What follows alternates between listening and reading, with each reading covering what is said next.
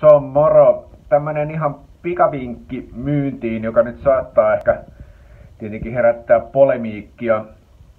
Mutta mä kerron sen nyt silti. Itse asiassa tota, tämän idean mä suoraan varastan yhdeltä Timolta, joka itse asiassa käytti tätä joskus myynnissä. Saatte toki niinku itse käyttää, jos nyt haluat, mutta, mutta siis villakoren ydin on se, että, että jos asiakas tuntuu niin kuin vähän niin kuin olevan silleen, niin kuin, että haloo, haloo, kuuluuko, kuuluuko.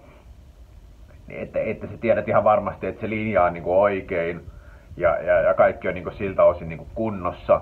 Mutta tota, hän niin kuin tavallaan feikkaa siis sillä tavalla just se, että haloo, haloo, nyt ei kuulu, haloo. Tai että sä kuulet sen niin kuin se äänestä, että, että, että, että, että, että, tällä, että hän niin kuin toimii tuolla lailla. Ja sä voit itse asiassa sanoa sit siihen, että hula hula vanne ja sitten jos se asiakas sanoo, että mitä, niin sitten sä voit sanoa, että joo, että hula hula vanne. Että, että miten on, että voidaanko tästä laittaa nyt tulemaan tämä palvelu sulle. Tai tuote, jo, ja sitten katsotaan, että se hinta on vaikka 70 euroa vuosi, niin voidaanko laittaa.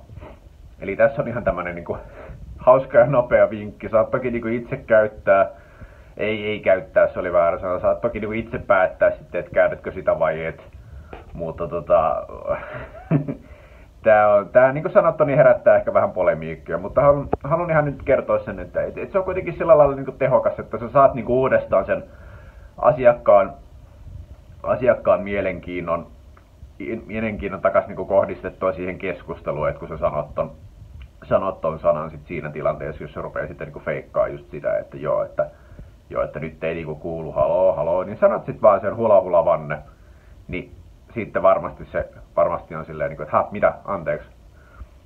Näin. Mut hyvä. Niin tää video oli ihan tältä osin, tältä osin tässä, niin tota, ei muuta kuin hei, hyvää vointia, hyvää myyntiä ja kaikkea hyvää niin kuin aina. Moro, moi!